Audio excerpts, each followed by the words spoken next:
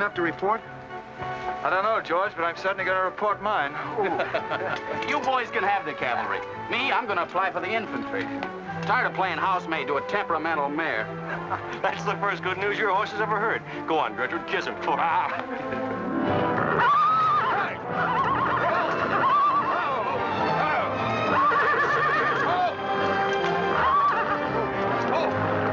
Stand still, you devil. Steady, boy. You weren't so hard-headed you wouldn't hurt your mouth. I told you before we started you had that curb chain on too tight. It's not the first time you've cut his tongue. You ever try putting a curb on your tongue? No, nobody else ever tried it. I suppose it takes one of you Southerners to handle a horse. Well, at least we know how to harness them. You know how to harness Negroes down south, too, I hear. With a strap across their back. Come on. When are you going to take a punch at him? Uh-uh. Too close to graduation. Besides, if I've waited four years, I guess I can wait another week. A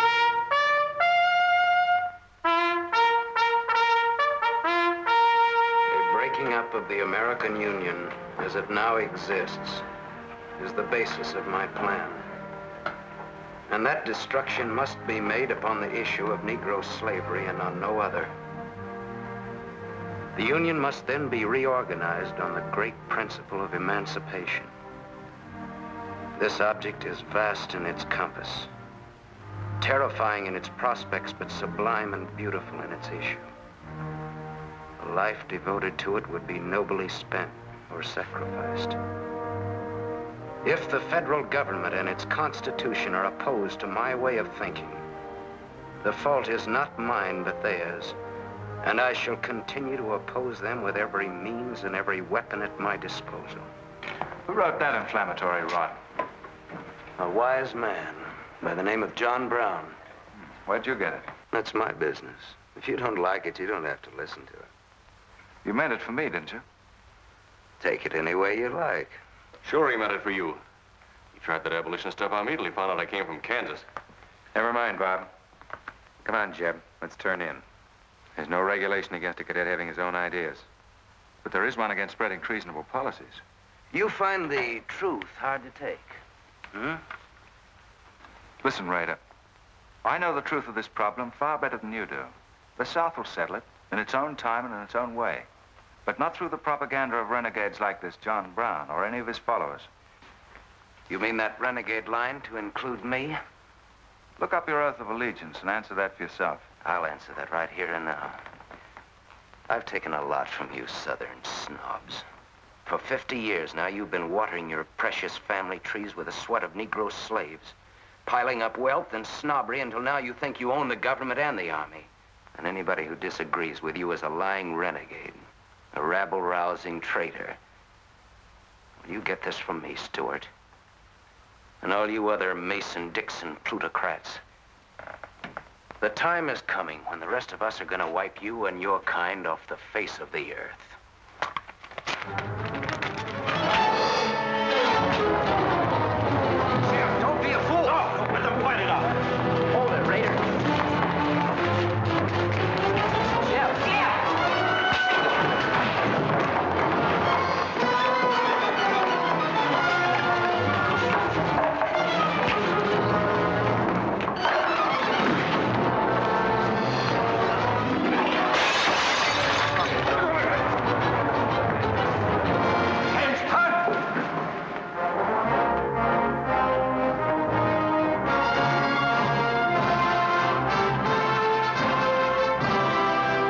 For some time, I've been aware that a disturbing force has been active among the regiment of cadets.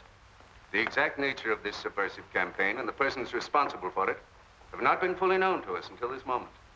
Stuart, by every rule of the Academy, you should be discharged from the service. And your associates are no less guilty for their part in this outrageous affair. Colonel Lee, any blame in this matter is entirely upon me. It's my sole responsibility, sir. That's not quite true, sir. It was my fault. We're all equally responsible, sir. That's right, sir. That's right, sir. If I believed that you were guilty alone, Stuart, I should have sent for you alone. As for you, Custer, and the rest of you, you must be taught that lying to protect a friend is sometimes an extremely dangerous practice. I'm not so greatly concerned about the fight itself as I am about its cause. All seven of you men violated the first sin of military conduct, the traffic and violent exchange of political ideas, which are not the affairs of an American soldier. You must be punished, and punished severely. I shall request of the War Department upon your graduation next week that all of you be assigned to the most dangerous branch of the United States Army. The 2nd United States Cavalry, now stationed at Fort Leavenworth in the Kansas Territory.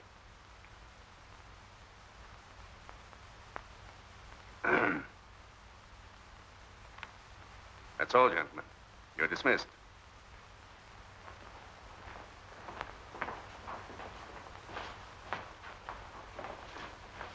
Now send for Cadet Rader. How can you beat that? Fort Leavenworth, suicide station. Kansas and the Santa Fe Trail. What a piece of luck. That's it, and the cavalry, active duty, promotion. Why, we'll all be generals while the rest of these fellows are still shapes. Oh, that's desolate country, Jeff. Nothing grows in Kansas but trouble. What are you talking about? I grew up out there, didn't I? I suppose he's not. Oh, yeah, wait till I get you boys out there. Man alive, that's my stamping ground. well, These pamphlets were found in your quarters. Dozens of them. Together with a letter written by a member of the Abolitionist Party, instructing you to distribute them among those cadets who appeared to be sympathetic to their cause. How long has this undercover activity of yours been going on? Long enough. Very clever idea of your fellow conspirators to plant an agent in our midst. Your dishonorable discharge will be drawn up at once, and you'll be given until sundown to remove yourself and your personal belongings from the limits of West Point. Good.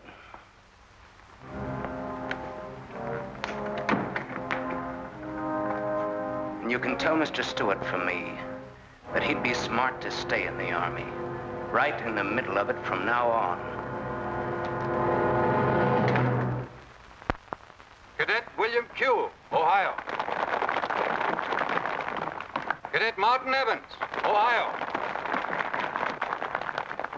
Cadet Armour New Jersey. Cadet George Custer, Ohio. Cadet James Longstreet, South Carolina. Cadet Philip Sheridan, New York. Cadet J.E.B. Stuart, Virginia. Cadet John Hood, Kentucky. Cadet Robert Holliday, Kansas Territory.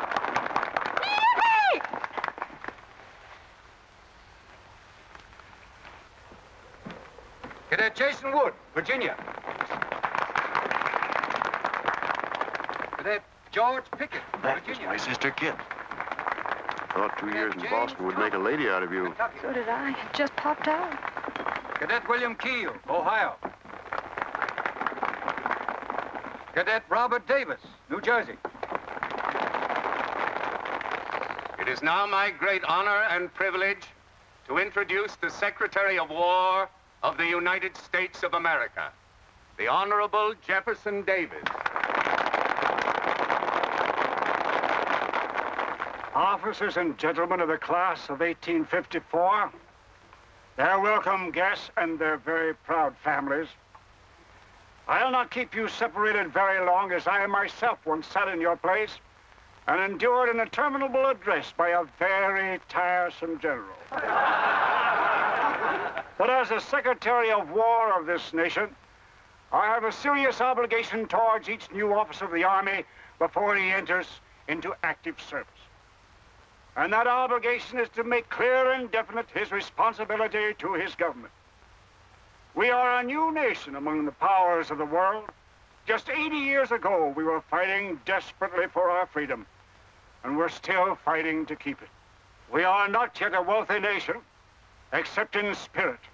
And that unity of spirit is our greatest strength. You men have but one duty, one alone, America. With your unswerving loyalty and the grace of God, our nation shall have no fears for the future, and your lives will have been spent in the noblest of all causes, the defense of the rights of man.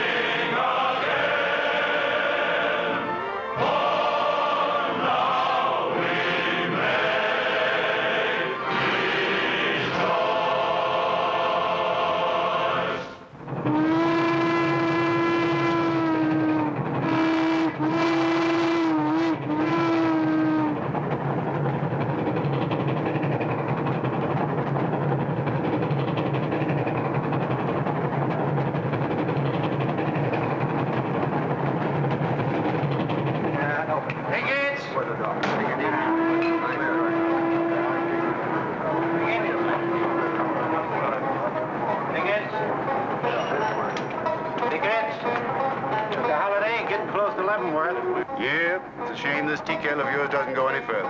What for? There ain't nothing to go to. There's half a nation out there, Cap. Someday I'll build a real railroad to open it up, clear to Santa Fe. For a man who made a fortune out of horses, you sure got a heap to learn. Hey, Cap, tell the boys to speed it up a little, will you? The last time I had to get out and help them chop wood for the engine. Well, the first time you rode with me, I had to change your diapers. hey, Cap, where am I going? Looks like you're going to Hades. Just wanted to know.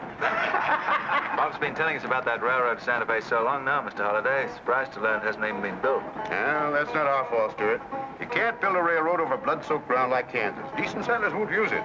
We're losing thousands of pioneers to the Oregon Trail. They circle right around us. We heard about the raid at Osawatomie last week. What is the true situation out here, sir? Well, uh, Kansas is a territory and not a state. We're ready to join the Union, but the big question is whether we'll go in as a slave state or as a free state. On one side is most of Kansas pro-slavers, people who came from the South. On the other side are the abolitionists led by John Brown and his sons. Between those two elements, they've made Kansas a boiling pot of rebellion and massacres. That's why the Army sent you boys out here to Fort Leavenworth. Say, suicide station. It's quite an honor. Excuse me, will you, sir? Surely.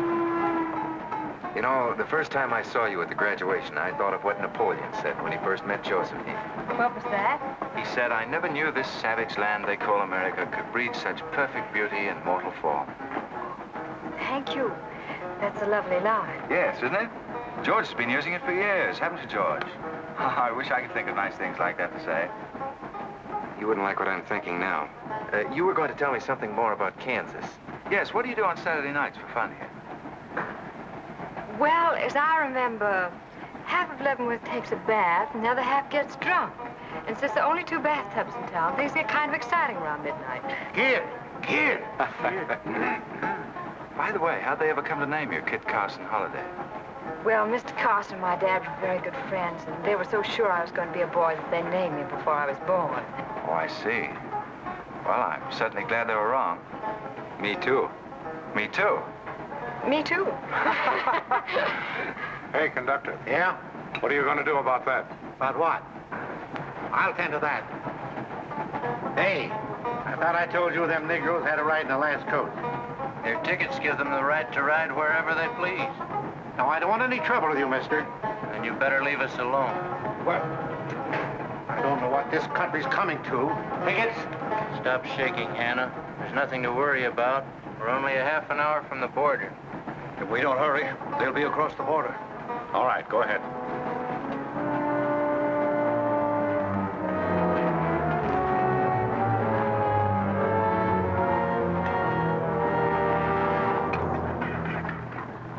Where are you taking the Negroes?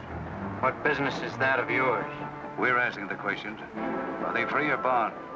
Here are the papers. See for yourself. Yeah, that might mean something if we didn't know who you are. To don't you make a move. We're taking you and them off of this train while they're still in Missouri. Now, come on, get up, all of you.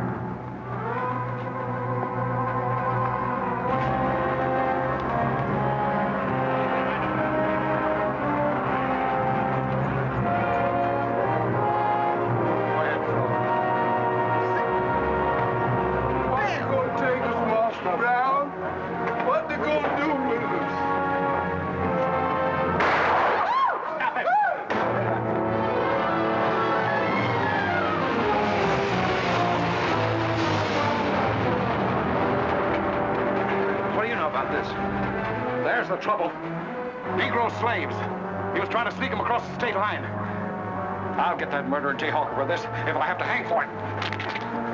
Who was it? Oliver Brown, one of John Brown's scurvy litter. Better than a doornail. Come on, you gay-eyed greenhorns. Give me a hand. There ain't no use spoiling the carpet. Come on, get him out of the way. Come on, Jim. Now, don't get excited, everybody. Sit down, please. This is what they mean when they call it bloody Kansas. There'll never be any peace along the Santa Fe Trail while John Brown or any of his followers are alive.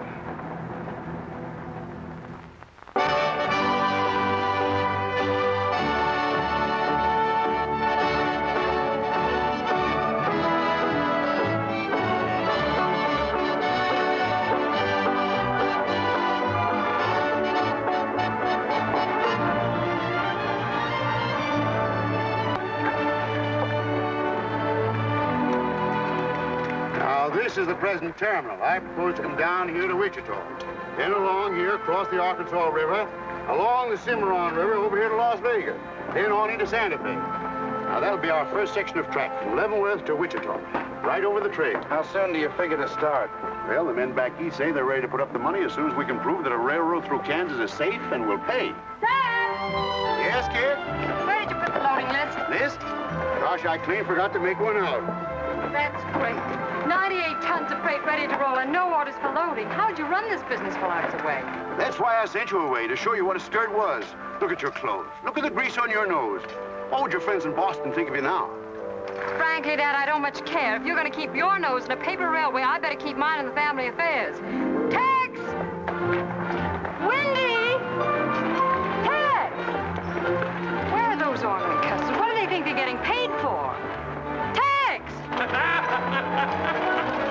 Why didn't you tell me? Getting jealous, huh?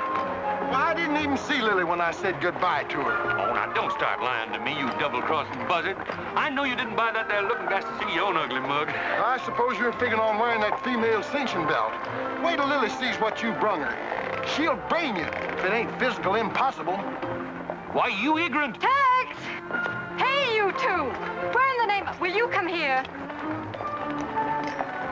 Hello, Miss Kit. Hello, nothing. Are you gentlemen of leisure by any chance interested in employment? Uh, we lost our watch. Yeah, we didn't have no idea of time. I ought to give you both your time and throw you out. Where in town have you been? Well, uh, you see, we had to buy these knickknacks. Well, we sort of got a gal in Santa Fe, Lily, uh, Hofstetter, and what do you mean we? I'm engaged to her. well, who ain't? You set up housekeeping in Santa Fe, or is this just uh, gilding the lily? Oh, uh, she wanted us to fetch her one of them fancy French looking glasses. Ain't it pretty? What's your answer to that, Tex? What are you laughing at, you long-eared jackasses? Go on, get to work, both of you. Go on, jump to it. You better hide that thing or start wearing it.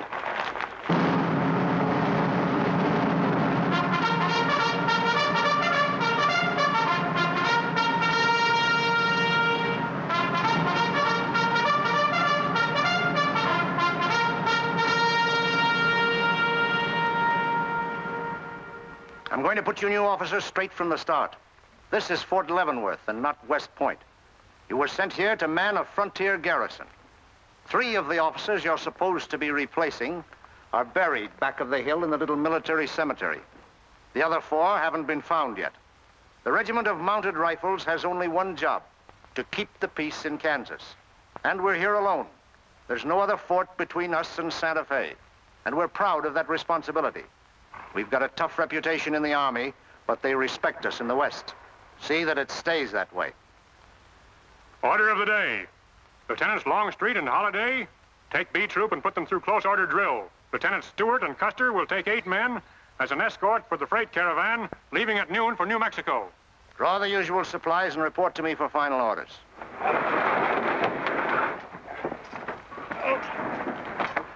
Say, will you keep all those cases of Bibles near the tailboard? They're only going a short haul. We sure will. Let's go.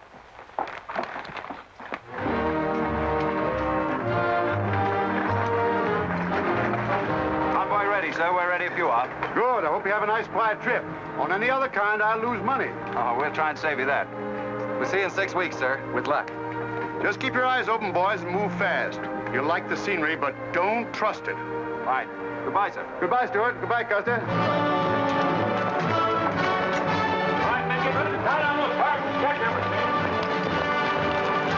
Corporal, detail two men to cover each wagon. Yes, sir. Phil, move all these barrels over there for the next line. Well,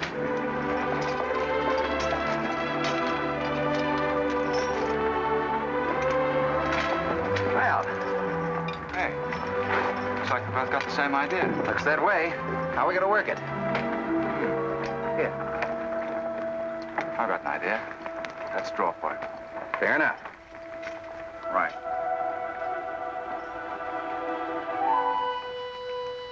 I got the long one. Hey, wait a minute. Where I come from, long man loses. Tough luck, old man. Here, hold my horse. One hand's our one seater, seven and eight is 15, 12 and 14 is... Why, Joe, there's something missing. Must be me. Hello. Hello, what are you doing here? Oh, playing nursemaid for those wagons. Should be the other way around. Oh, the convoy. That's a silly idea, Dad. He thinks that man John Brown's behind every bush. Well, it's not that I mind so much. It's being away from you for six weeks, just when we're getting started. Started? Where? Uh, look, I've only got a few minutes left, so I've got to be fast. You haven't been exactly slow for a couple of days. I've never seen such a pair of whirlwinds as you and George Custer. Oh, George, poor old George. Well, never mind about him. Look, kid, I might as well tell you before I go. I'm completely crazy about you. What? Uh, now, wait a minute. Let me finish. I needn't warn you about army life. The pay's bad. I'd never be home. You'd probably be a widow in two weeks. I see. Have you thought of any particular names for the children? No, be serious, will you? This might be the most precious moment in our lives. I hope not, not in these clothes. Haven't you got any heart at all? Yes, I have. And it's going to stay right where it is. I don't know a thing about you, Jeb Stuart. My brother thinks you're wonderful. Uh, but then he was dropped on his head when he was a baby. Well, at least you'll let me kiss you goodbye, won't you? Oh, well, it's quite an honor, but no thanks. I, I don't really deserve it. Well, hello. Say, this is quite a surprise. The corporal's looking for you. Says it's very urgent. Mm-hmm, I'll bet. Kit, we'll take this up later, right where we left off. Now, George, don't be long-winded. Listen, Kit, we're due to leave in a minute now. There's something I've got to tell you. I'm head over heels in love with you.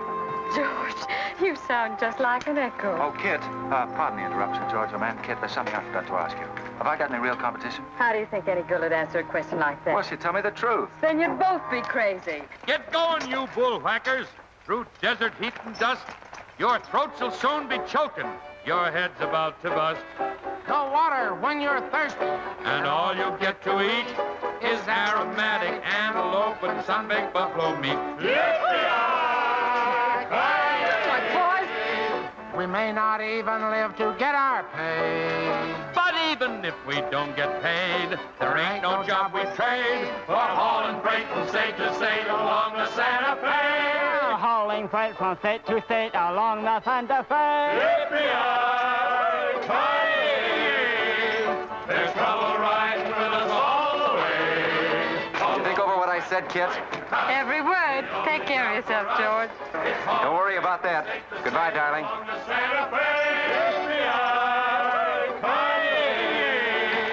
There's trouble riding with us all the way. Although we sweat fight and cuss, the only job for us is hauling Make a little bet, kid. Sure, on what? Those two boys? I'll give you three to one. I can name the winner. That's ridiculous. Which one do you want?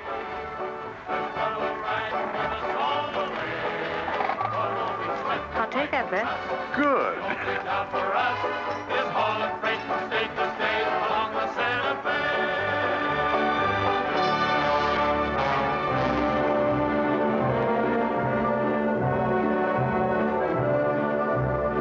Instruct all volunteers not to enter Kansas unequipped, nor to display their weapons to public view.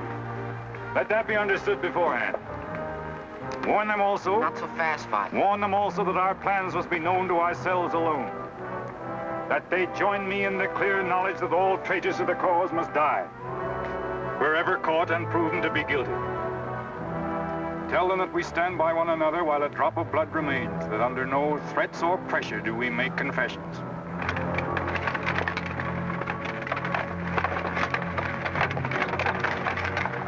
That's our camp. I might as well tell you when you get this far, you don't turn back.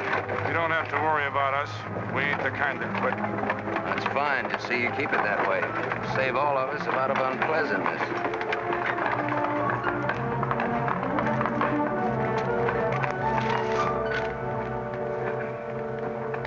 You've been delayed. Was there trouble, Rader? No, sir, we had to detour when we got to the border. I picked these new men up in Palmyra. Volunteer, sir. There are the credentials. From Illinois. You've come a long way. And we'll go the rest of it. We came here to fight slavers. The sooner the better. That's good. We'll put you to work at once. Kid Spinner, look after these gentlemen. Fine. This way, boys. Let's go where we're We've received the news we've been waiting for. We break camp, Rader. Yes, sir. Let's start tearing down these tents now.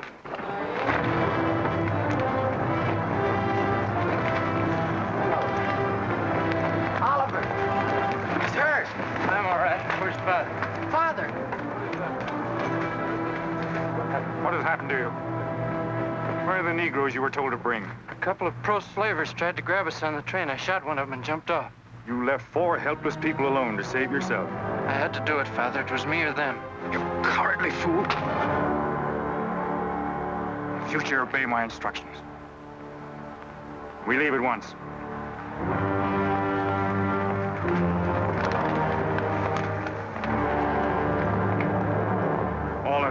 Upon your knees.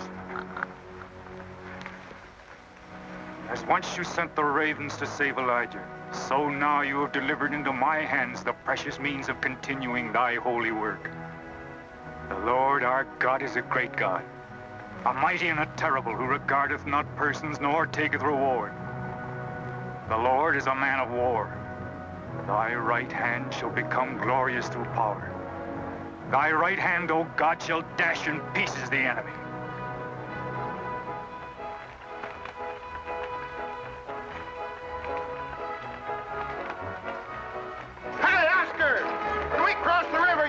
You watch out that wagon that's got my looking glass. hey, Tex, these horses are pretty tired. When are we going to make camp? Oh, as soon as we cross the river, and then we'll be out of danger from both sides. You know, Lieutenant, I'm sure glad we're leaving civilization. It's getting too dangerous for a peace-loving man. I run into some of them abolitionists once, but who's this feller John Brown that talks so much about? Oh, as far as I know, he's just a dirty old windbag. In fact, he's just your type. Either of you ever meet him? No, but two of them fellas he killed at Osawatomie were friends of mine. You mean Jim Doyle and Alan Wilkinson? Yeah, and that's the reason I'd sure like to meet up with this here Mr. John Brown. He's got no quarrel with people like you, Tex. You'd do much better to leave him alone. Well, you can count me in anyhow. Even if he ain't harmed no friends of mine, I sure hate to miss a good fight.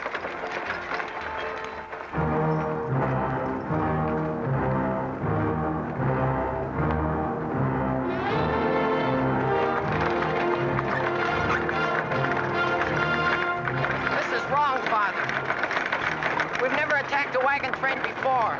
We aren't common highwaymen. You say we have a righteous cause, but this will bring the law down on us like a storm. We recognize no law but the law of God. You will do as I command.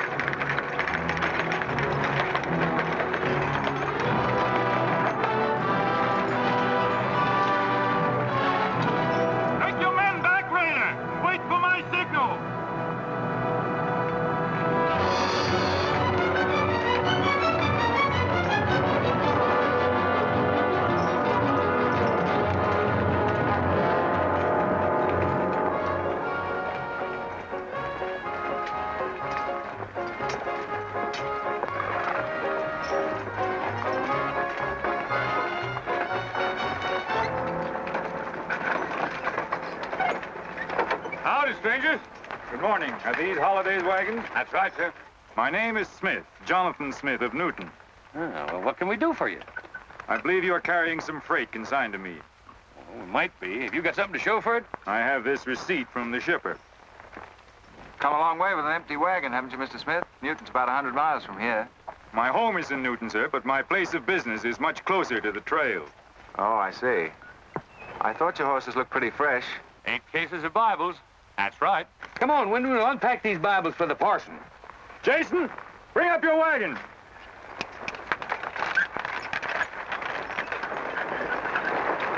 Get that pack down. I gotta get them Bibles unpacked for the parson. That's a funny thing. I've seen that fellow somewhere. It's the way it seems to me. Isn't the kind of a face you'd forget in a hurry. No. Wait a minute. I know. In some magazine, The Atlantic, I think. Well, then he's either from Boston or he's a missionary. No, it's something else.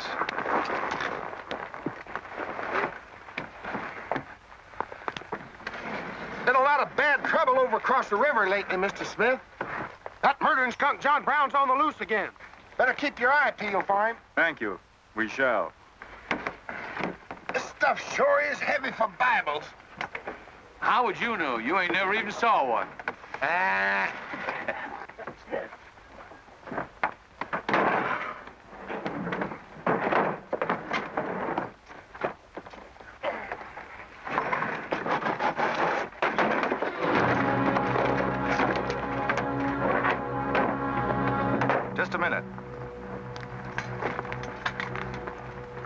See those Bibles. There you are. Put your hands up and keep 'em up.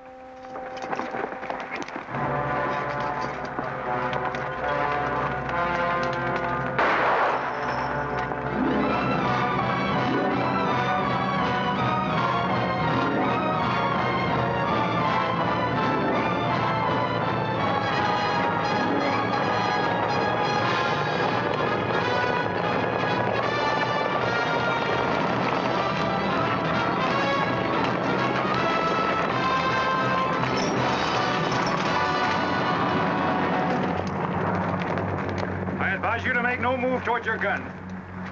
Bring up the other wagon. Now then, quickly with those other crates. All right, get a move on there. Only the ones marked Bibles. Hey, Chip. Look. Our friend Rader. Well, this is a surprise. The commission in the cavalry, too, huh? I see you've got the commission you were after. Do you know these men, Rader? Yes, sir, very well. This one, Stuart, comes from a rich slave-owning family in Virginia. He called you a lying renegade once, and I jumped him for it. John Brown. Him? John Brown. John Brown? I have nothing personal against you men, but I will deal harshly with any interference. I might have known you'd wind up with this outfit. Well, that's one of the troubles with the Army, Stuart. They don't teach you to think ahead. They do one smart thing. They teach you never to turn your back on an enemy without first making sure he's harmed. We'll not saddle ourselves with a killing just to satisfy your personal quarrels. One more murder won't mark you any deeper than you are now, Mr. Brown. I intend to be a marked man. Back to your horse, Rader. Back to your horses, all of you. I've given you fair warning. You can keep your heads or lose them as you wish. Move on.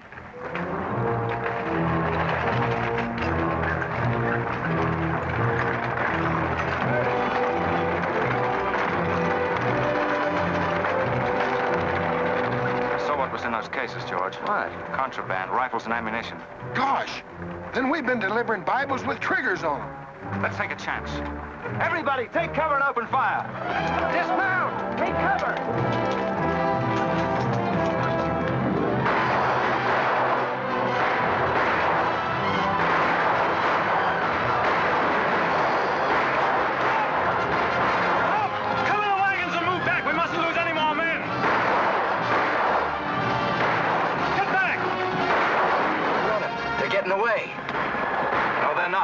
Going after them. Hey, wait a minute. The outnumber is three to one. Well, if it makes you nervous, don't count them. Come on. Everybody mount and follow me. Everybody mount. Come on, Shave Tail. Here's where I get your medal.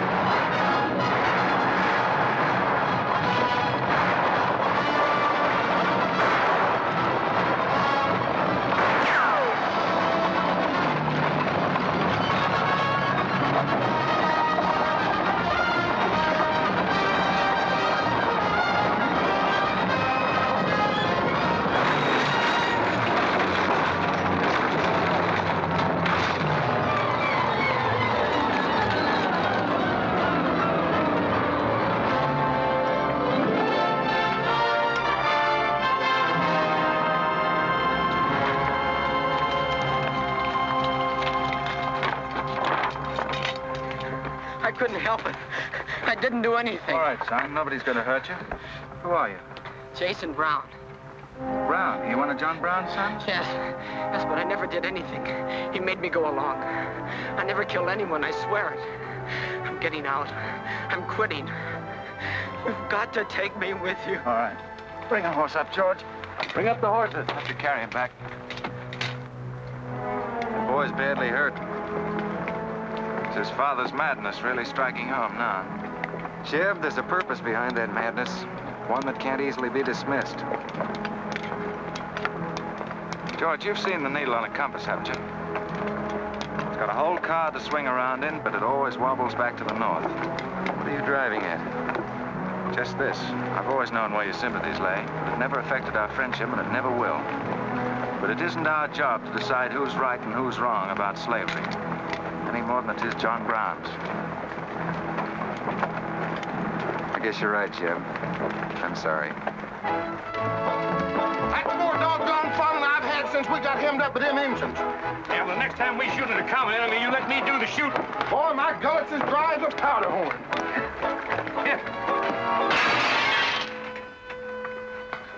Get up! You Lily's looking glass. When she looks at herself in that, she'll think she's a hundred years old. Or more. Of course we're aware that firearms are contraband in Kansas. Do you think we'd have accepted those boxes as freight if we'd known what they actually contained? Well, I'm just asking, that's all. Doesn't it seem strange to you that Dr. J. Boyce Russell, the most prominent religious leader in America, should be sending rifles marked as Bibles to John Brown? How can I control the marking of crates? We once received three tons of gunpowder marked birdseed. Well, then you'll have to examine every crate you haul. What? For all we know, this contraband may have been slipping through for months. Jason, listen, son. You've got nothing to be afraid of if you'll be honest with us. Now, I want you to answer my question truthfully. Did your father ever mention this shipment of rifles when he discussed his plans? Not to me. He never confided in me. Just Fred and Oliver, Fred and Oliver? my brothers. Where are their headquarters? I don't know where they went. They have a dozen places. I. I don't know. All right, kid. Don't worry about it.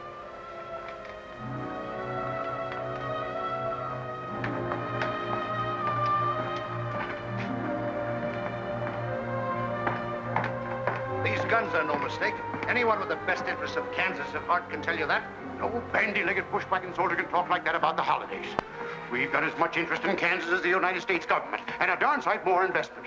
We were here before the Army came, and by Godfrey, we'll be here when you're gone. If you think you can... Sir. Well, Stuart, what did you find?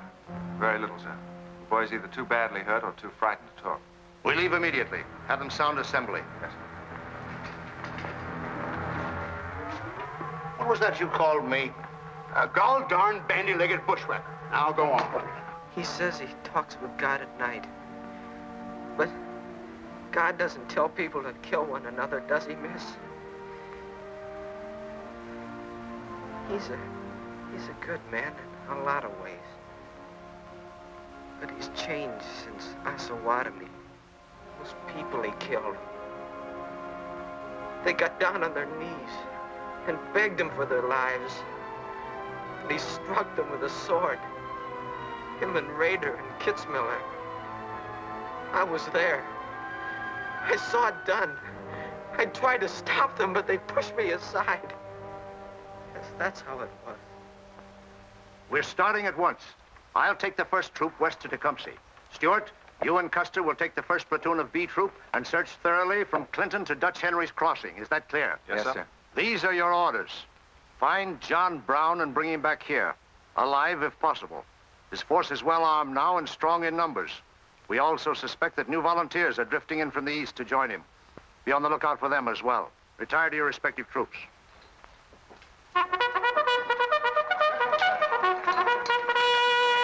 What's that? They've caught some more of us. No one's been caught, Jason. Not even you. You've committed no crime to be afraid of. I'm sick of being afraid. I'm sick of hiding like a hunted thing. I want to walk free like other people. You will, Jason. You're safe now. No, I'm not. Not as long as he keeps killing and thinking that he's right. He can't be right, can he, miss? I don't know. His reasons may be right, Jason. They may even be great and good reasons. But what your father is doing is wrong. Terribly wrong. And he'll keep on repeating that wrong as long as he lives.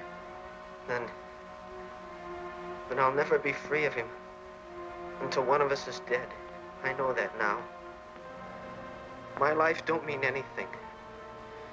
But if he dies, maybe this whole scheme of his will die with him. I'd rather have it that way. His life. Even if he is my father, against many thousands. I'm gonna tell you where to find him. Oh, Jason, I'm not trying to... I'm gonna tell you anyway. In the house of Shubal Morgan, Palmyra. That's where they went. That's their headquarters. Tell the soldiers. It's better that way. His life against many thousands.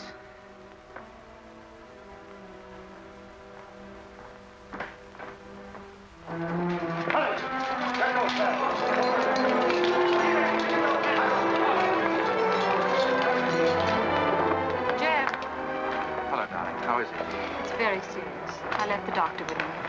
Poor little devil. Jeb, he told me everything. The whole nightmare of his 15 years, even the place where his father is now. He said he wanted me to tell the soldiers. Where? Palmyra, at the house of a man named Shubal Morgan. Shubal Morgan, Palmyra. I wonder if that's the truth. Jeb, I'm frightened. That boy is crippled for life. And that man on the train, he died for a principle. And a man killed him for a principle. One of them is wrong, but which one? Who knows the answer to that, kid? Everybody in America is trying to decide it. Yes, by words in the East and by guns in the West. But one day the words will turn into guns. Oh, Jeb, can't it be stopped now? Can't the slaves be freed before it's too late? It will be stopped when we hang John Brown. Then the South can settle our own problem without loss of pride at being forced into it by a bunch of fanatics. Oh, Jeb, what has pride got to do with human lives? Kid, the two things kind of come together down south. Can't pry them apart, not even with guns. I hope that's going to be the same way with us.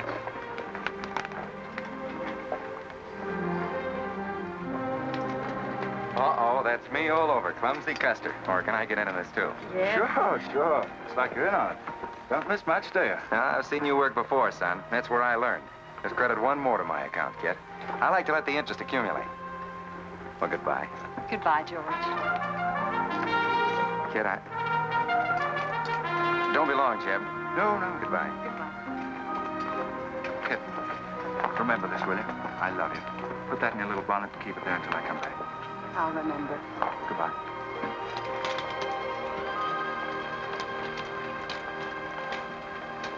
Hey, Lieutenant! Hello, boys. Hello, Lieutenant Jeb. Say, I want you to keep an eye on Kid for me while we're gone, will you? Heck no, we're going to hunt John Brown with you. What? Yeah, we come to join up. Who do we see? A couple of flat-footed rumputs like you in the Army? Why, you'd get lost. Boys, you better go home and sleep it off. So long.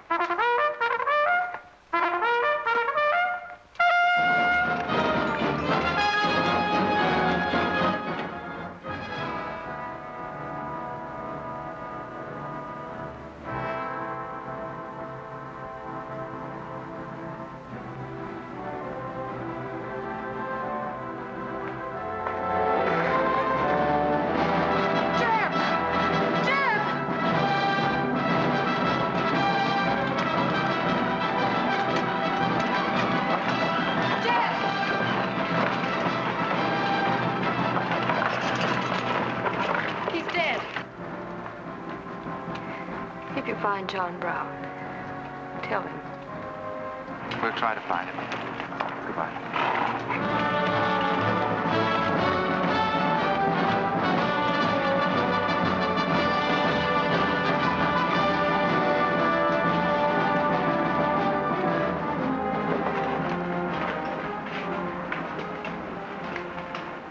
Kid, once when you were about this high, Tex Windy brought home a wolf cub with a broken back.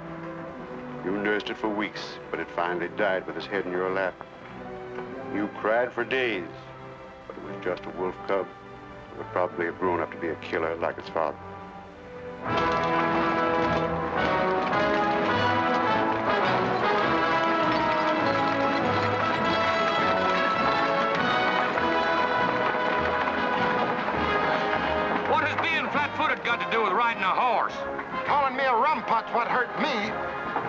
Drink since noon.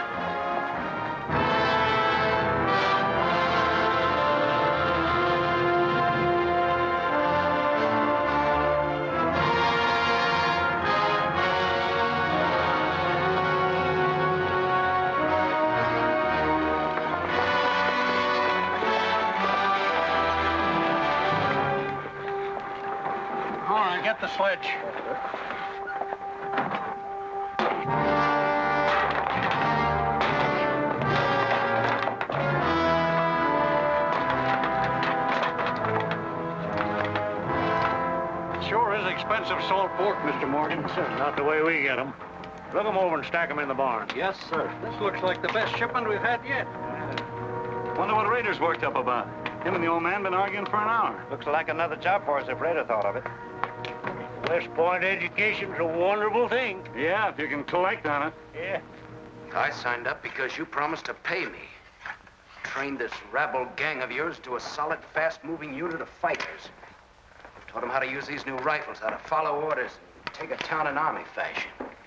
But I haven't received a red cent in three months. Now, what about it? Mr. Rader, I enlisted you on the recommendation of friends in the East who said you would work for the cause. You've done your job well. I have no complaint up to now. But our plans are ahead of any personal greed. If you feel otherwise, you are free to get out. But you must decide here and now. I want only loyal men around me.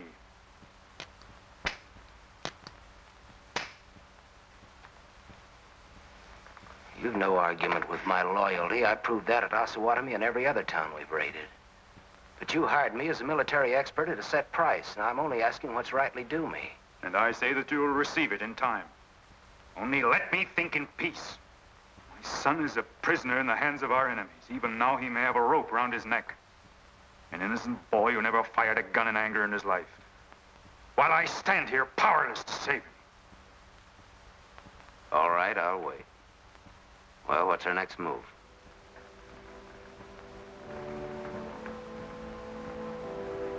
The Bible has said an eye for an eye and a tooth for a tooth.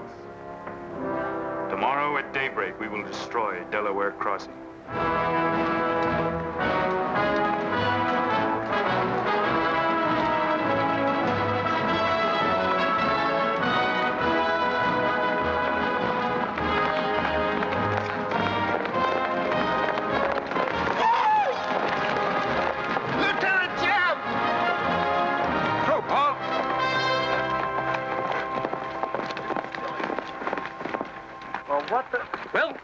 Major sort of turned us down, too.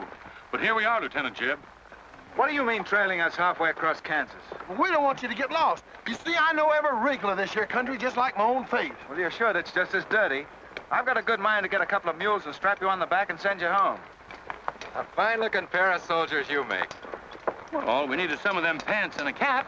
And then, of course, if some soldiers just our size gets killed, why... All right, get back to the end of the column. Go on before I get that mule. We don't have to obey no orders. Since we ain't in the army. But we will. Yeah. Wait till Kid hears about this. She'll skin him alive. That's if they got any skin left.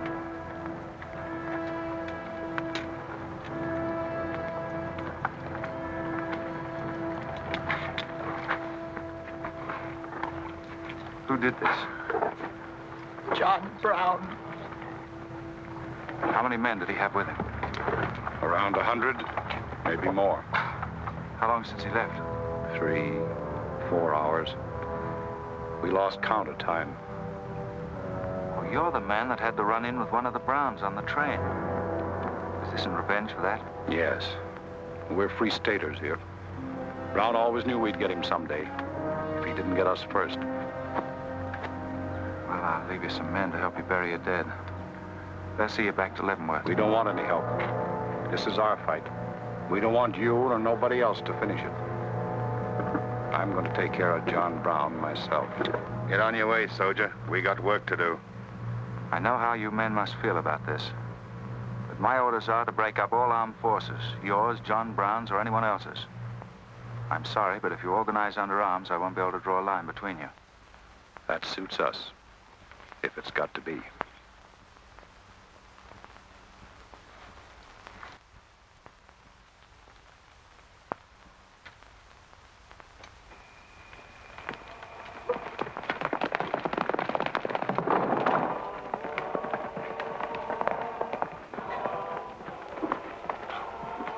What did you find out, Kitzmiller? A troop of cavalry from Fort Leavenworth are headed this way.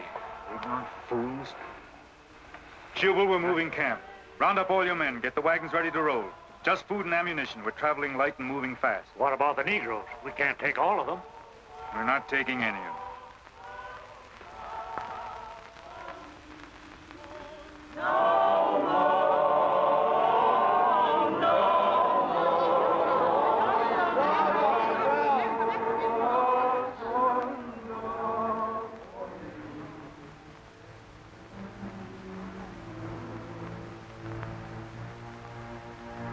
children, the hour of deliverance I promised you has come. I am leaving Kansas now to continue God's holy work. For Gideon took ten men of his servants and did as God had said unto him. And it was so that he did it by night. And when the men of the wicked city arose early in the morning, behold, the altar of Baal was cast down. Please, Captain Brown, what did that mean? What you gonna do with us? Means that you are free, the first of many millions to whom I shall give freedom from slavery. Does, does just saying so make us free? How we gonna live? Get food and shelter? There are many good people in Kansas who will give you work and protection. From now on, you must fend for yourselves, as other free men do. My work here is done. Praise God. Glory, bless God, we's free. The captain done kept his word, we's free. We's free, we's free.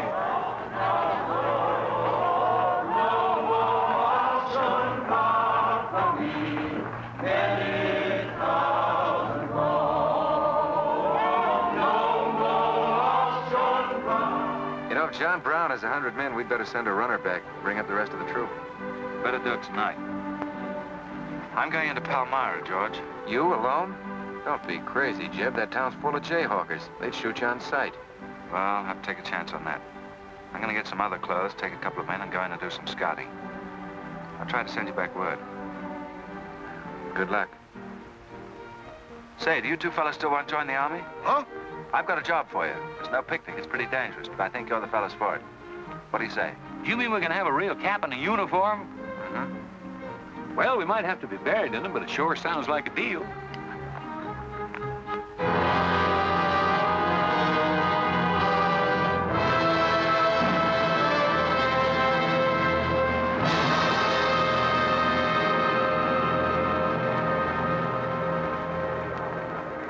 The law's got nothing to do with it.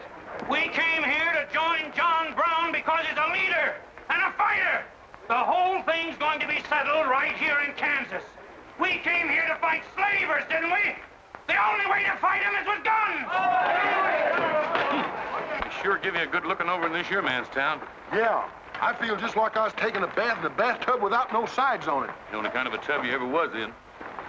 Say, who could I talk to in this kind of a town without arousing suspicion? The town barber. That's right. Anytime a barber can't talk to a stranger, he's liable to go crazy. Town barber. Hmm? That's it.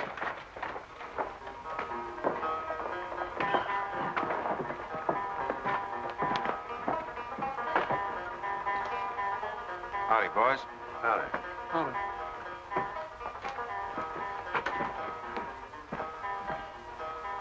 Pretty good looking horse for this part of the world. Yeah. Kansas is all right for men and dogs, but it's pretty hard on women and horses. Say, look at that brand.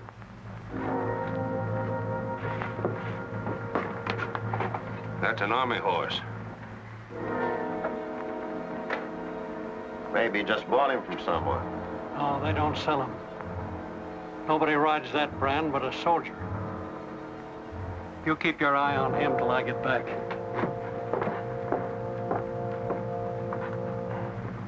You still got that creepy feeling about this place? I don't know whether it's that or these here chiggers, but something's creeping over me. Why don't you scratch and see if it goes away?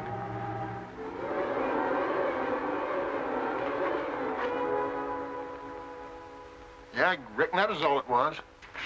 Say, I got it now. We was on the same train a couple of months ago when that fella got killed.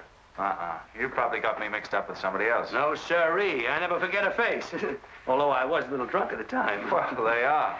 Fella you saw probably had two faces. Been in Palmyra long? Oh, just a couple of weeks. This ain't no time for barbers. The fellas that ain't trying to hide their faces for some reason or other are too mean to spend the money.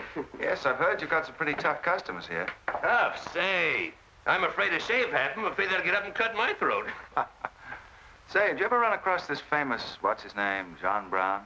Sure, he came in here once. Strange-looking man with a hemp mark on his throat. Hemp mark? What's that? Oh, it's an old barber superstition. A, a little red line that runs all the way around here. Anybody born with that mark is bound to be hung. That's so. Say, I haven't got one, have I? Not yet. Maybe.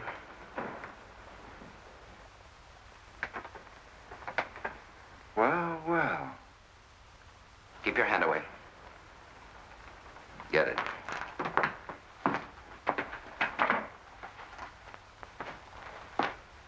This was quite an idea, Stuart. You're coming in alone first to look around? Or is this one of your agents? I ain't never laid eyes on him before. I swear it. I, I don't know him from Adam. What were you up to? Well, it's your move. You figure it out. My next move is plain enough. Didn't they teach us how to handle spies when we caught them red-handed? Same treatment for renegades, wasn't it? When you catch them. This will make you quite a hero, Stuart. The class of 54 will turn out in a body for your funeral. They may even hang your picture in the West Point Library. There's worse places to hang. Get him out of here, Rader. We're wasting time. Just having a last few words with an old classmate of mine. And I had them coming to me. Come on, get up. We're gonna give you a good look at what you came to see.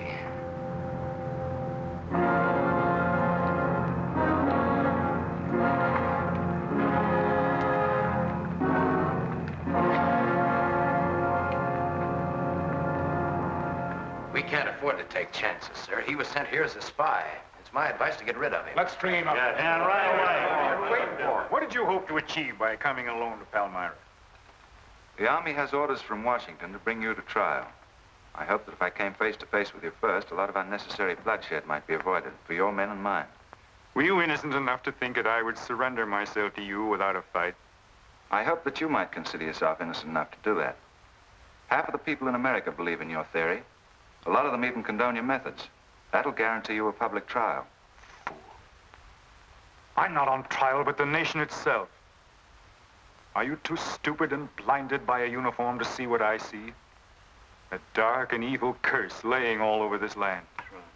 A carnal sin against God. It Can only be wiped out in blood. But why in blood?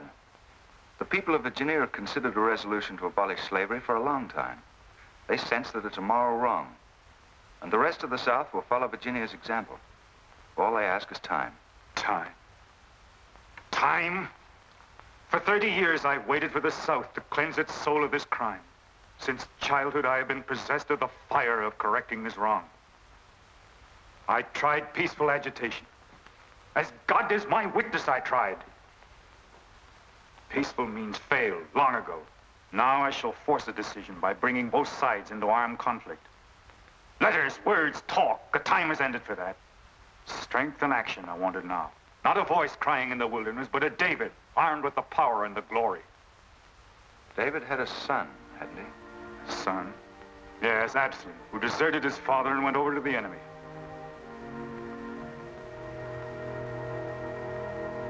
What are you trying to tell me, Stuart? And Absalom died because he feared his father. Jason is dead. So be it.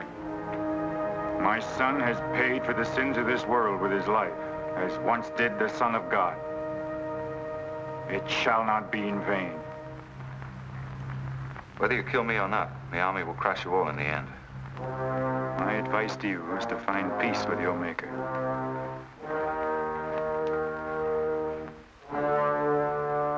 Now the big one. Sit down. I never liked Barber's know-how. Now spill out, you little big rum weasel. I'll cut your throat. Where'd he go? I swear I don't know, boys. I think, well, they, were taken out that way. Who took him? The, the three fellas. One of them was Oliver Brown. Do you see this razor? Well, I'm keeping it, and if you move a hair when we get back, I'm going to strap it on your liver and barbecue your carcass. Now, you stay where you are.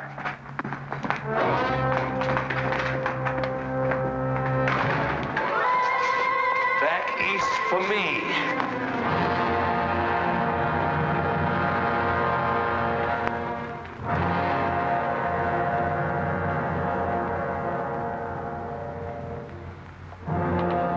I called you all together as witnesses to hear my words. An enemy to the cause has entered our midst, stealthily and by night, with the purpose of planning our destruction. But the hand that has never failed us has come once again to our protection. Not with malice or revenge that we take this man's life, but in just retribution, as befits all enemies of mankind, all enemies of God. Ready, sir.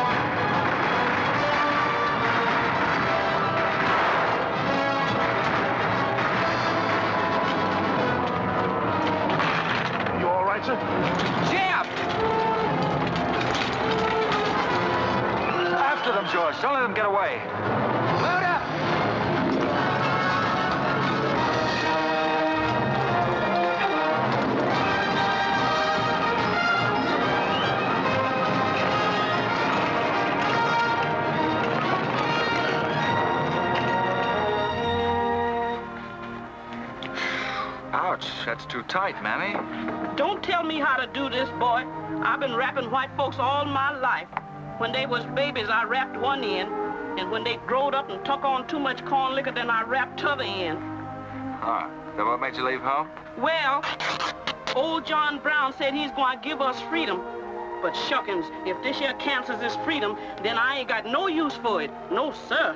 Me neither. I just want to get back home to Texas and set till kingdom come.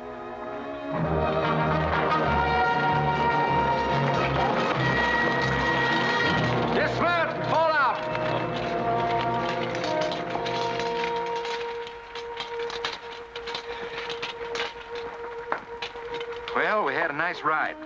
Both ways. Lost him, huh? He and a few others got away in the hills. I think I hit one, Jeb. You ought to heard him holler. Heard him holler, you jughead. That was me. You shot my hat off. Well, it won't matter much.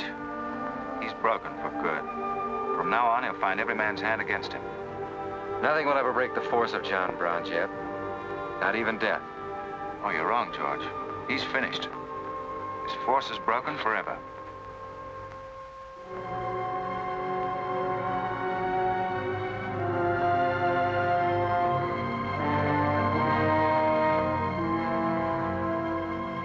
Hast thou afflicted thy servant, O Lord? Wherefore do I not find favor with thee?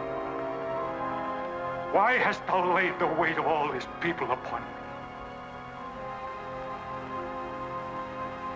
Yes. This is the sign for which I have waited, O Lord. This is your command, the burning bush. Let there be no peace in all this land until we have revenged ourselves upon thine enemies. As once you smote the Philistines, smite now the fury of thy wrath upon these blind, misbegotten fools. I shall be thy right hand. I, John Brown, shall be the sword of Jehovah.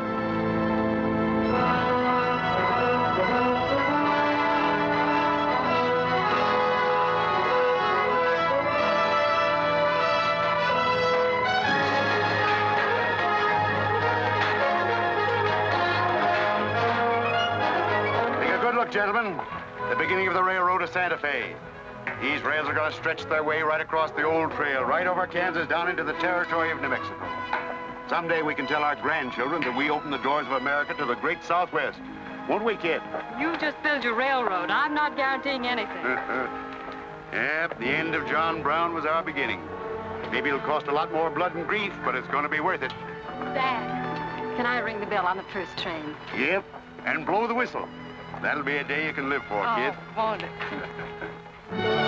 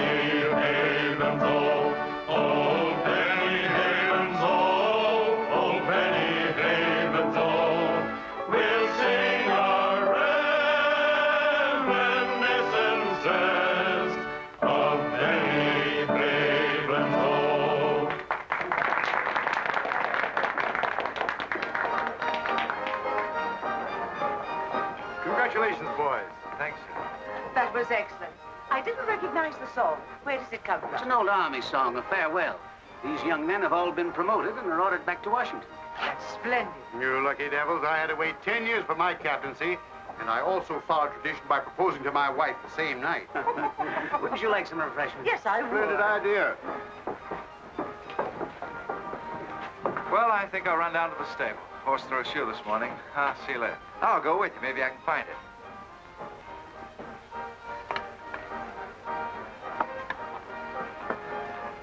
You have to go and lie for, telling the major we was the best barbecuers along the Santa Fe Trail? I just mentioned it sort of casual. How'd I know he's gonna take us up on it? When he starts eating this. he won't take us up, he'll take us up and out. You think it's gonna be hard chewing, Tex? Well, I don't know. I still got a hunch. We should have skinned it first. We took the horns off of it, didn't we? What is the captain's pay, Jeb? $38? Uh-uh, 40 40 a month. Say, that's enough to get... Go on, get what? Well, you know, this and that. What are you planning to do with your extra pay? Exactly the same thing as you are, son. Want to throw straws? Not this time. This means too much. Well, how are we going to handle it then? Take turns? I don't trust you southern boys in the moonlight. All right. Let's ask it together. Hey! Wait a minute. What is this, you loon? Come on, don't argue. Just come along and listen. There you are. George has got something to ask you, Kit. You have the floor, George. Well, I don't know just how to start, Kit, but there's an old Indian woman who hangs around the fort and tells people's fortunes. She's supposed to be a wonder at it, and, well, Yes, George. well, she said I'm going to get married soon to a very beautiful girl. Did she, George? That's very nice. Pretty slick opening remark. Kit, were you ever by any chance a blonde? Why, no, not even as a baby. Are you sure? This old woman's never been wrong before. Absolutely sure. Well, maybe she's still right. There's a whole lot of beautiful blondes in the world, George. Let's ask her. Let's. Wait a minute. Kit, are you in love with him and not with me? I guess I am, George. You gonna marry him? Oh, wait a minute. I can handle this proposal from now, son. Kit, you really mean that? You haven't asked me anything yet. I wonder if I said the wrong thing. Mm-mm. Couldn't have been more perfect. Now, where's that Indian?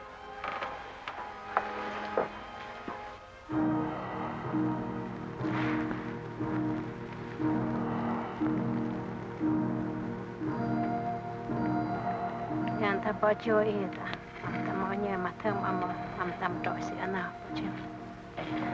A pe chu ka ka ma ku chu ku a pe. Có nhỉ? What'd she say, Kit? You know the lingo. She says that this is one of the last times we'll all of us be together as friends. now ask her something sensible. Who's going to be the first general? When is tam when he guns? Hơ mà có cái American mà tam po am po si ở chu. Hơ mo am se the good. She says that one day you'll all be famous men, great in battle, but bitter enemies. What?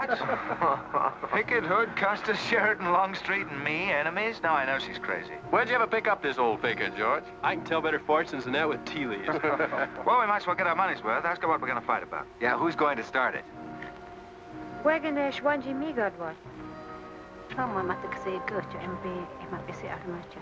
À mà chỉ là cái ở thằng cái cho mà mà bị sửa chữa cái một bia mà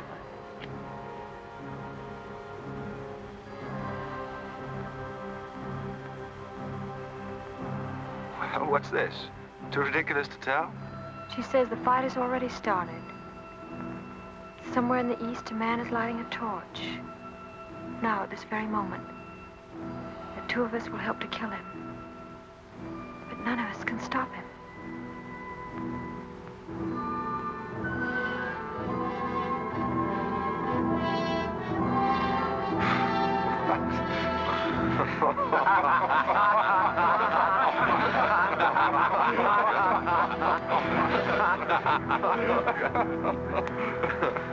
Here's where I would attack first.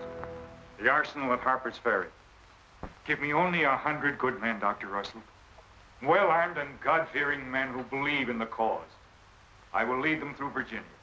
Rouse the thousands of discontented slaves who will flock to join us.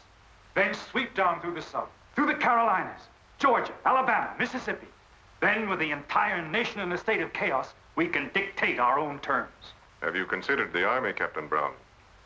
Surely they'll be after you in full force within a few hours after you first attack. Let them come, Dr. Russell. Let them try to stop me. I've studied that country for years. It's full of good hiding places, natural forts where large forces of brave men can defy pursuit indefinitely. Mr. Rader will go ahead of us and scout the town. Yes, sir. With his knowledge of military methods and our great advantage of surprise, we can outwit the army at every turn. Captain Brown, this plan of yours is mad. Worse than mad. It's high treason. Such a brazen attack would lead to civil war. Exactly. That is exactly what I want. Is it your wish, then, to destroy the Union? My answer to that is yes. To the devil with the Union. We've got to fight sometime. It might as well be now. Gentlemen, I came here to Boston at great personal risk. There's a price in my head of $10,000, so my time is precious. You've given me much help and encouragement up to now. But all that we have done in Kansas and elsewhere will be wasted unless you see it through to the glorious end.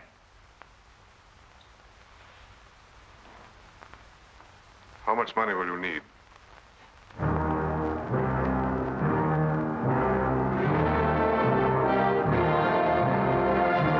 We now possess the guns, ammunition, pipes, a complete store of supplies. The place and the hour is set. Harper's Ferry, daybreak, Monday, October the 16th. We will strike with two forces, suddenly with complete surprise, and then move rapidly through Virginia. You men all know what will be demanded of you. Yes, we're with you, Captain. Captain. It's Rader. He made good time.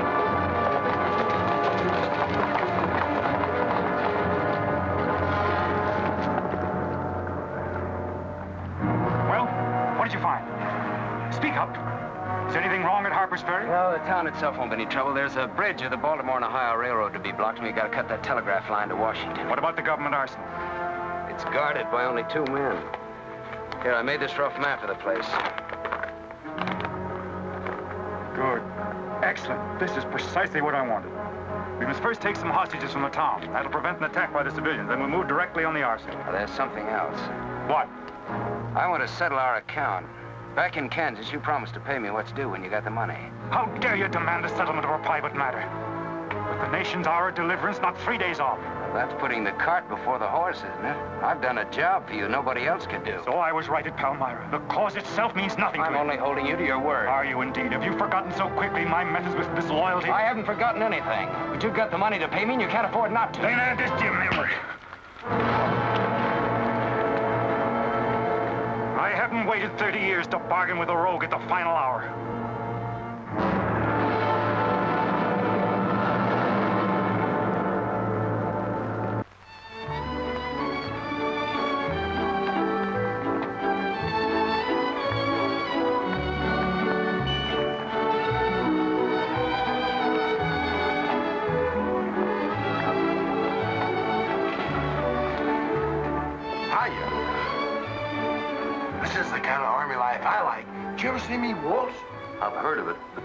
Santa Fe shakedown.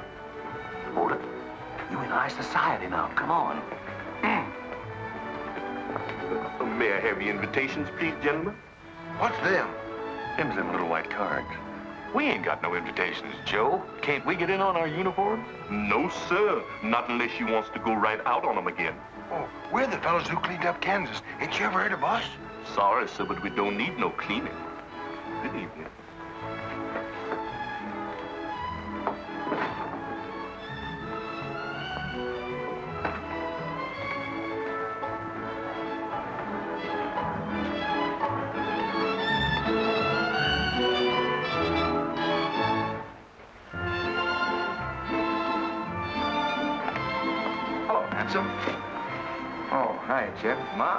A dream tonight. How's the party?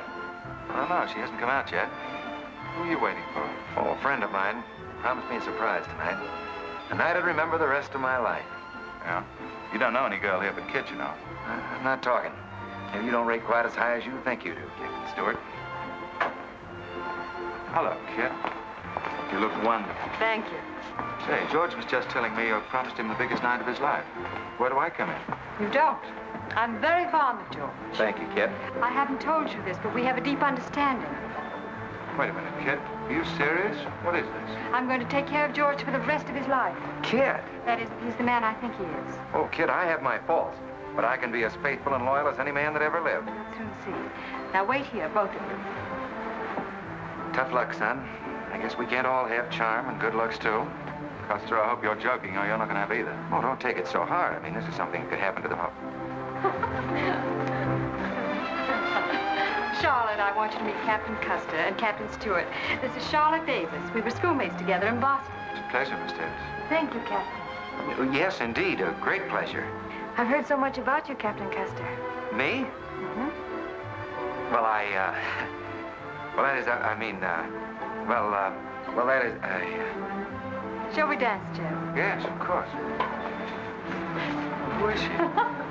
That's the blonde, the one that George was promised by old Sit in the Mud. Oh, I see. Well, pretty nice. Don't you think? Left wheel. Company. Halt. Present. Arms. Prepare to scoop.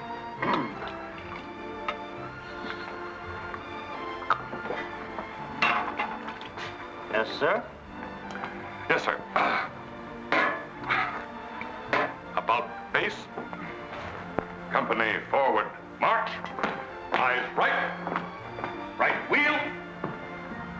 Well, there I was, right out in the middle of Kansas, facing 500 crazy fanatics, heavily armed. And me with only 15 soldiers. Good Heavens, Captain, how terrifying.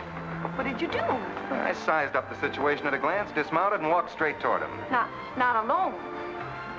My dear young lady, there comes a time in every soldier's life when he must stand or fall alone. And if you knew the Army, you'd understand that he who hesitates is lost.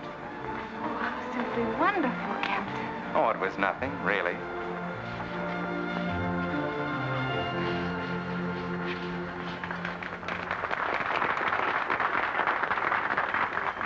Will you come and meet my father, Captain? I'd be delighted. Is he in the government service? Yes, but I think he'll lose his job in the next election. Oh, that's too bad. Say, he should be in the Army. You know, politics don't bother us. He'd rather go fishing anyway. Father. Hello, Charlotte. Hello, Colonel Lee. Hi, dear. Father, I'd like you to meet Captain George Custer. Oh, but of course I met the captain at West Point when he graduated, didn't I? Yes, sir. Hi, Custer. I'm fine, Colonel Lee. We've heard good things about you. Congratulations. Yes, the captain's just been telling me how he put down the trouble in Kansas by himself. Splendid job, pile, man. Oh, splendid. Wasn't there also a chap named Stuart, uh, Jeb Stuart, connected with that campaign? Stuart? Uh, yes, sir. He was around. Shall we dance?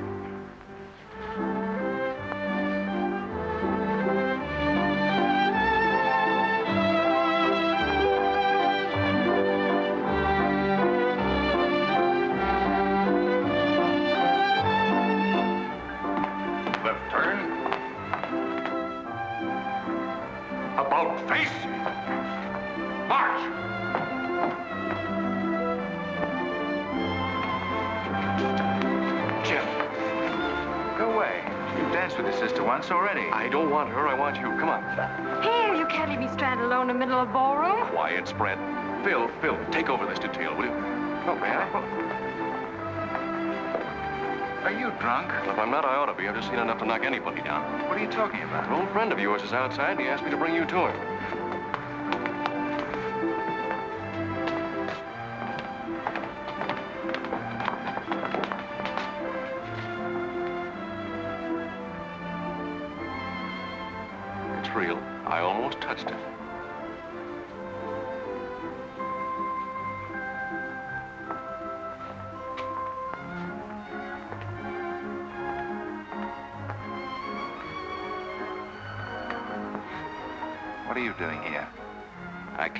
Find you. I know what you think of me, Stuart, that I'm no good. Well, maybe you're right. But maybe I've got something to tell you that'll change your opinion. You'll have a hard time doing that. Suppose I told you that I left John Brown three hours ago with a well-armed force of men, not very many miles from where we're standing. I'd say you were out of your mind. All set to strike at Harper's Ferry on the Maryland-Virginia line sometime tonight. With reinforcements of over 1,200 men expected before daybreak from Pennsylvania. Brown plans to arouse the slaves. First in Virginia and then throughout the South in open rebellion. The telegraph wires will be cut and he'll block the railroad. And then at daybreak, they rush the arsenal. Take thousands of weapons with the idea of arming the Negroes. Well, that's the situation, gentlemen. Move for move. I don't know, you may be able to get there ahead of them, but if you do, you've got to move fast. Tonight. It's fantastic. Our Secret Service has reported John Brown to be out of the country. Well, I ought to know where he is. I've been with him every day and every mile since we left Kansas. Then why have you informed on him? Don't forget, Colonel, I was in the service once. I was young and I made a mistake. I didn't know that then, but I do now. I guess some of the things we learned at West Point stay on inside of us a lot deeper than we realize. Anyway, I couldn't stand by and see my country torn apart by a madman like Brown. I had to come here. This was something a lot bigger than myself. Couldn't have been the size of the reward you'll get for turning him in, could it? I said why I came here, and that's the truth. But I am entitled to any reward. I'm even willing to go back there and rejoin him tonight, just in case he gets suspicious or changes his plans. Now, what more proof do you want than that? I believe in because it's too dangerous not to. How soon can you start, Colonel? We'll be ready to leave in an hour. The officers are all here. Call them at once and proceed with all speed to Harper's Ferry.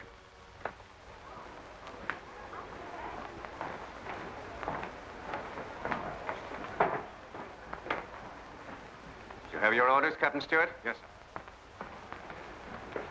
Jeff, what is it? What's happening? John Brown. Get the little Davis girl to take you home, will you, darling? But why? But... I'm sorry, I can't explain now. No time. Try to keep the others calm. Tell them there's nothing to be excited about. Goodbye. Goodbye.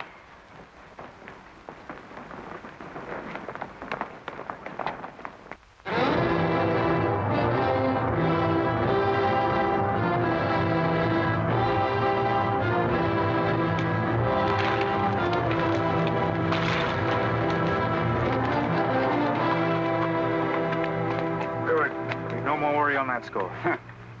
you say no train is due until well after daybreak? No, sir, not until 8 o'clock. I rode within 10 miles of Washington to make sure. What kept you so long? I had to take a side road both ways. Ugh. Schubel, Townsley, get your men, block the railroad bridge. We meet below the arsenal at daybreak. Kitzmiller, go to the town with 20 men and get the hostages. You know the ones? Yes, sir. Rest of you men, follow me.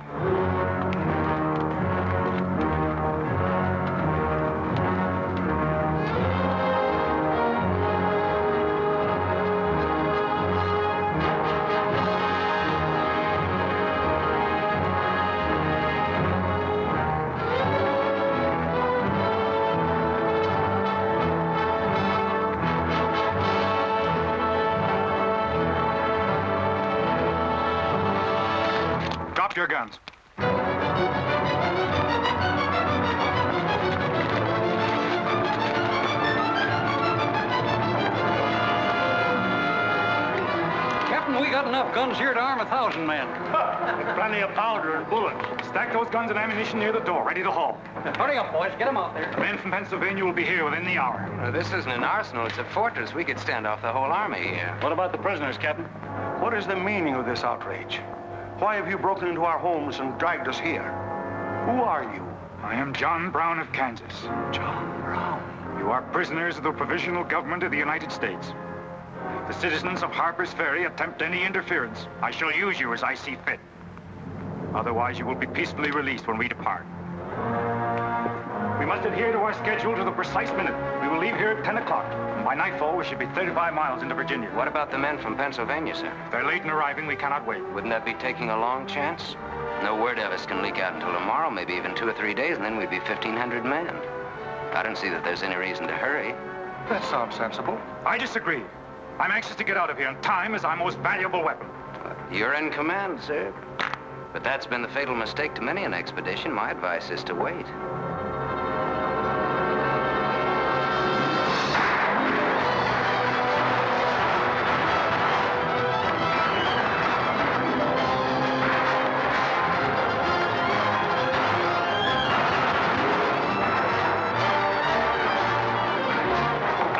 people are firing at us. Just a handful of them with old shotguns. We can clean them out in five minutes. Idiots. Why do they fight us? Can't they understand?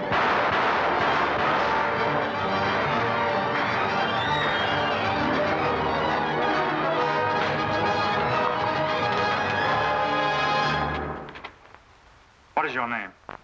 Brewer. If you value your life and those of your fellow townsmen, you will do as I say. Yes.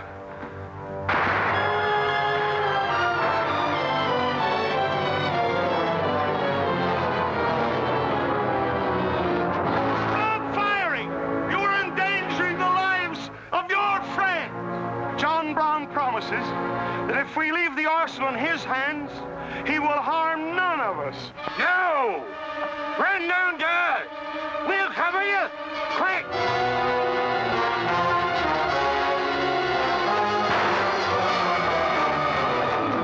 Stupid cattle!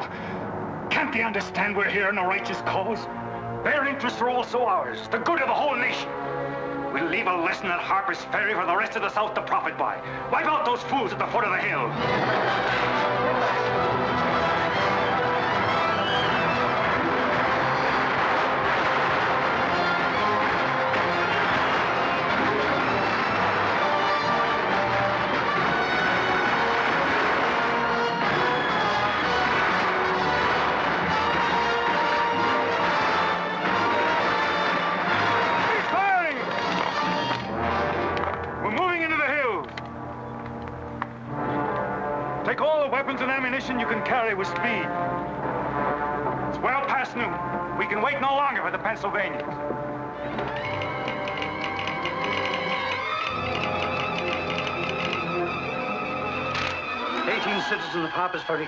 33 wounded by John Brown's invaders in open rebellion.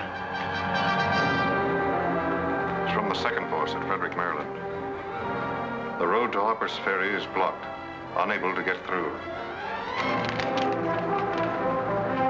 Jefferson Guards and the Winchesters under Lee's command passed through Upperville an hour ago. They will be the first to arrive at the ferry.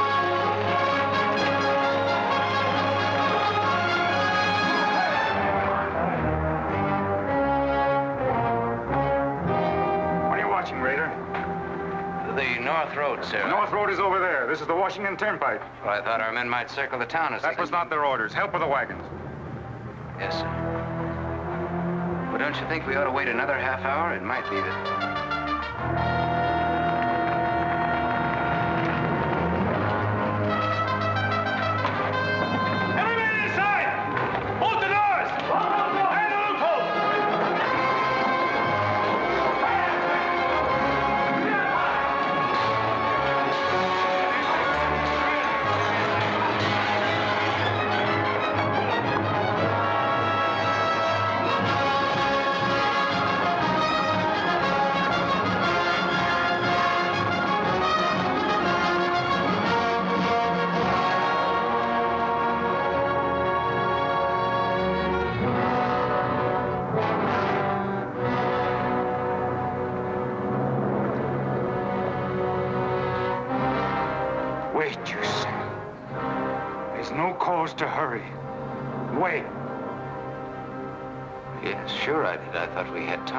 Stuart, Yes, sir?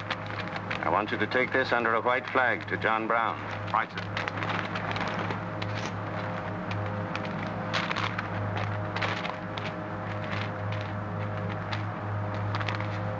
There's to be no parley. Yes or no? If it's a refusal, wave your hat to us. Right, sir. Hang on to this, will you?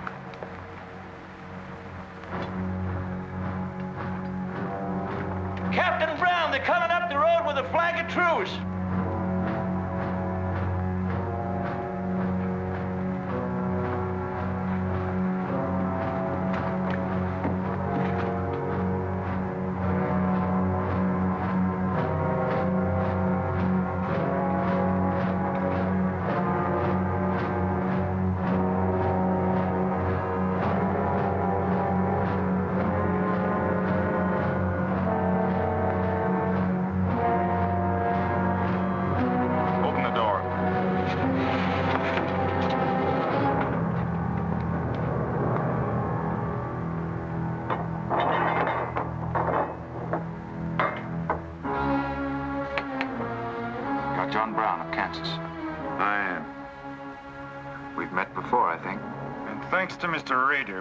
Meet again.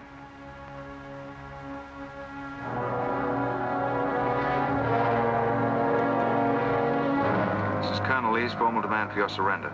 Once more, sir, you overrate your strength in supposing that I can be taken against my will. That's your final answer? It is. We prefer to die here.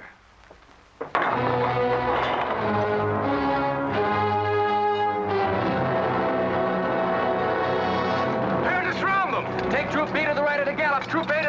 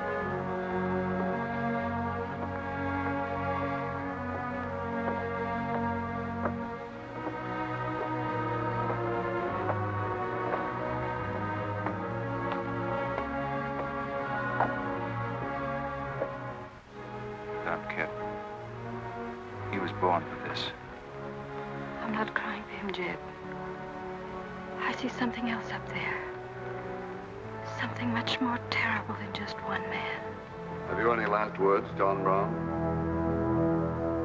I am only walking as God foreordained I should walk. All my actions, even the follies leading to this disaster, were decreed to happen long ages before this world began.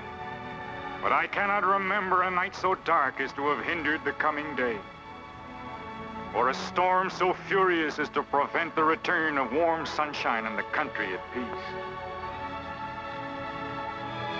I, John Brown, am now quite certain that the crimes of this guilty land can never be purged away but with blood.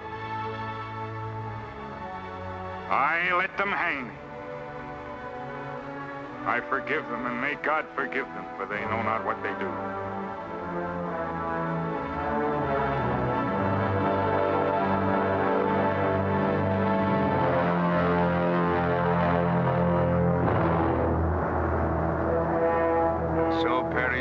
Such enemies of the Union, all such foes of the human race.